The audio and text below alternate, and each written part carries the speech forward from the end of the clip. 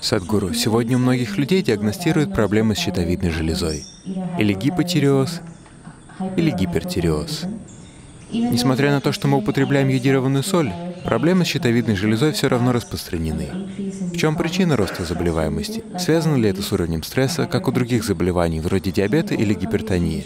Можно ли избавиться от этих проблем с помощью хатха-йоги, крии или пребывания в освященном месте, таком как центр йоги Иша? Что можно с этим сделать? Без сомнения. Очень многие избавились от этих болезней с помощью хатха-йоги. Пребывание в освященном месте также помогает. uh, uh,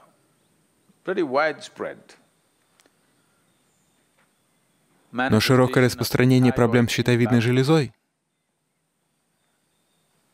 нужно понимать. То, что называется щитовидной железой, в йоге мы смотрим на это иначе. Но с медицинской точки зрения, работа щитовидной железы — это выделение секрета для ежедневной регуляции ваших внутренних процессов.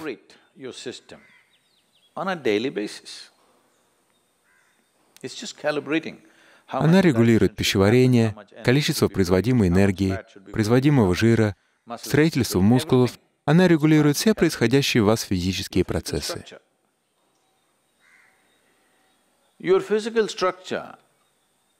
Ваши физические процессы тесно связаны с психическими. На сегодняшний день существует достаточно доказательств того, что если вы просто подумаете о горе,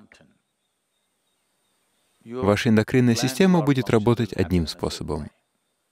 Если вы подумаете о тигре, другим, подумать об океане — третьим, о мужчине или женщине — четвертым.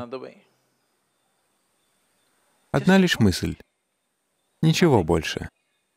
Никакого контакта с горой, тигром, мужчиной, женщиной, океаном. Одна лишь мысль, и работа вашей эндокринной системы изменится. Вот насколько это тонкая система. Она пытается отрегулировать все процессы для вашего благополучия. Проблема в том, что вам нужна телега. Потому что вы промежуточное звено. Вам нужна телега, а вам дали космический корабль. Любая мелочь производит огромный эффект. Если вы просто прикоснетесь к чему-то, бум, столько всего произойдет в организме. Если вы просто посмотрите так и подумаете об этом дереве, здесь произойдут многочисленные химические и другие изменения. Работа эндокринной системы изменится. Где бы вы ни были, Мумбаи, Нью-Йорке, Лондоне, неважно. Просто оглянитесь вокруг, посмотрите на ситуацию, в которой вы существуете. Возможно, с социальной точки зрения вы уже привыкли к этому. Но подумайте, в какой атмосфере вы живете, сколько всего происходит вокруг. Все это не благоприятствует этой жизни. Возможно, вы уже привыкли к этому. Возможно, вы не представляете себе жизнь вне больших городов. Это другой вопрос. Но жизнь внутри вас не стремится к подобной атмосфере. Так что некоторые изменения, происходящие внутри вас, работают не в вашу пользу. Дисфункция щитовидной железы — это лишь одно из проявлений. Щитовидная железа — это очень тонко настроенный орган эндокринной системы.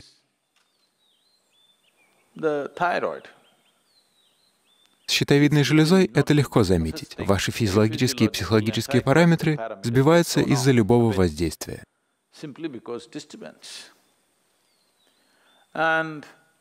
Другое измерение — это негативное воздействие исходит также и изнутри вас, из-за вашего собственного образа мыслей. Другой вид воздействия — пища, которую вы едите. Сегодня невозможно съесть что-то не отравленное химикатами.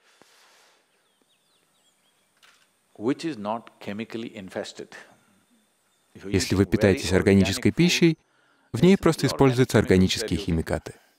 Вот до чего уже дошло. Очень сложно питаться только тем, что выросло в лесу. Просто сорвать и съесть. Этого очень-очень мало. Только у очень небольшого процента людей есть возможность так питаться. Все покупается в магазине. А в магазине важнее количество, а не качество.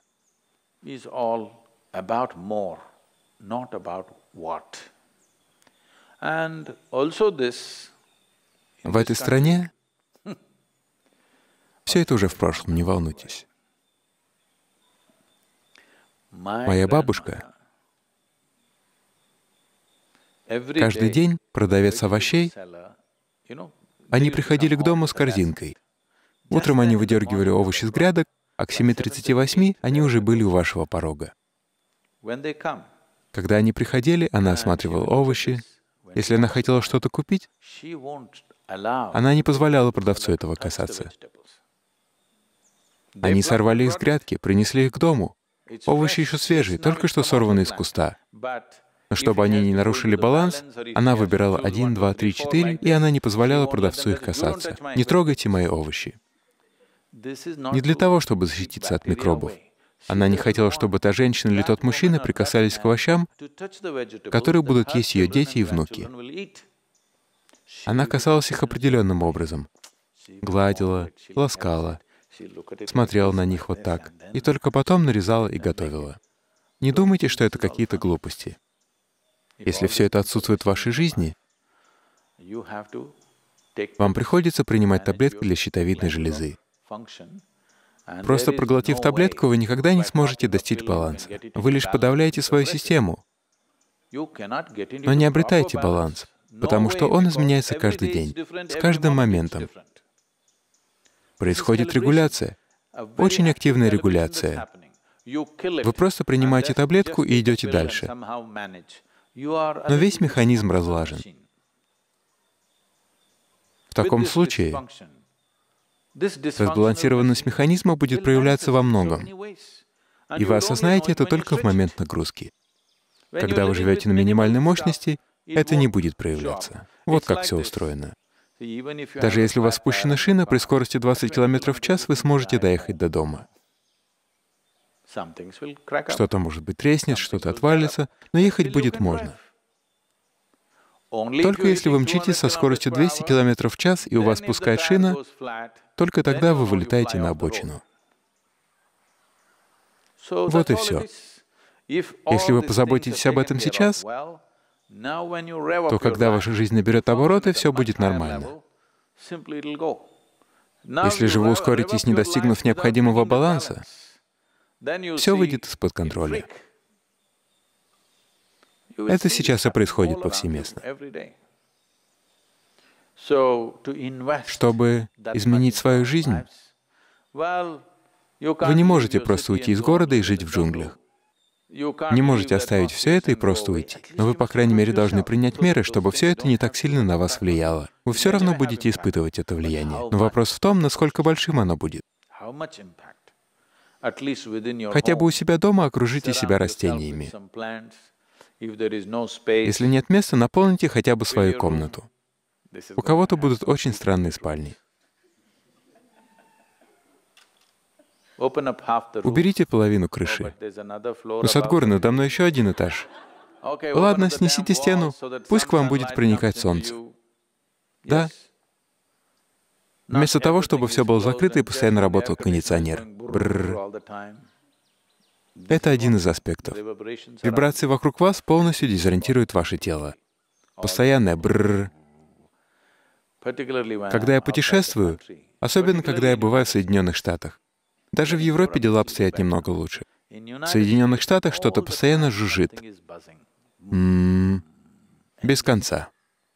Когда я возвращаюсь, это просто...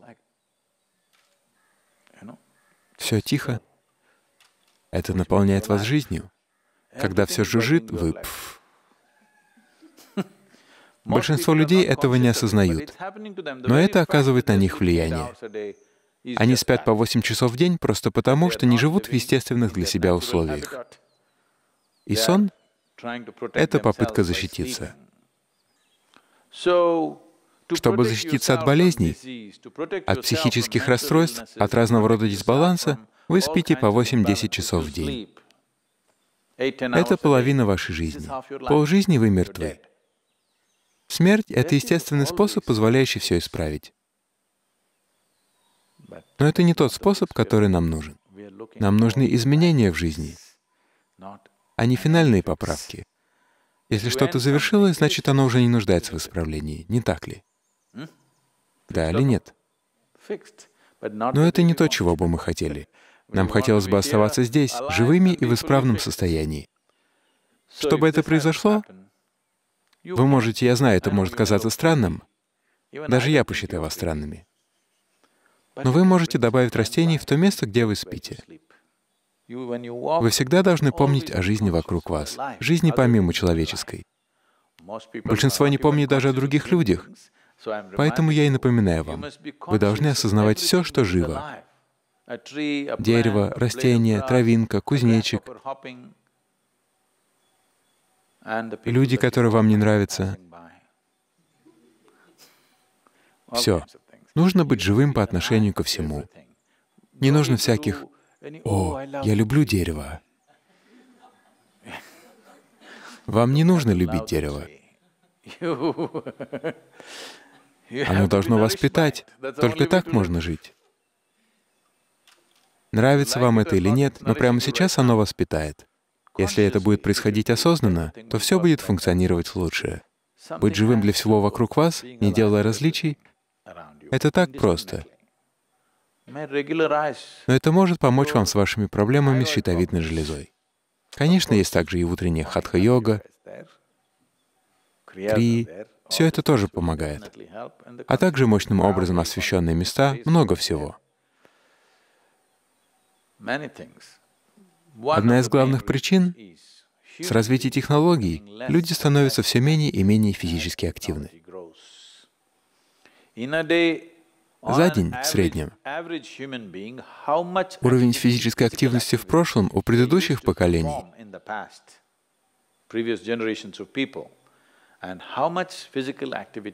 и у всех нас сегодня несопоставим. При таком низком уровне физической активности сложно поддерживать баланс в системе. Так что если вы чувствуете небольшой дисбаланс, не ложитесь спать. Если вы ощущаете дисбаланс, вы должны с головой погрузиться в физическую активность. Найдите занятие, выполняющееся энергично и приносящее радость, и занимайтесь им. Если вы чувствуете себя плохо, занимайтесь им больше и больше. Потому что как только вы прекратите, все только ухудшится. Если вы серьезно больны, это другое. Если же нет, говоря о дисфункции щитовидной железы, физическая активность — простое решение проблемы. И не занимайтесь активностью таким образом. Я говорю это для жителей Нью-Йорка. Не занимайтесь такой активностью. Когда у вас этот фитнес-браслет, 10 шагов, 12 шагов, не надо. Это неправильный подход к активности. Так можно еще только больше заболеть. Просто делай что-то радостно. Испытывай радость от жизни. Активность — это... Если вы не знаете, как просто сидеть и быть полными жизни, просто пойдите поиграйте. Сыграйте в какую-нибудь игру, просто побегайте. Притворитесь кузнечиком. Попробуйте. Почему бы и нет? Вы никогда не пробовали? В этом-то и есть ваша проблема. Сейчас, когда вы пойдете, я хочу увидеть, как вы скачете, как кузнечики по траве. Прыг, прыг, прыг. Вот увидите, насколько более живыми вы станете. Ваша основная проблема в том, что вы относитесь к жизни слишком серьезно.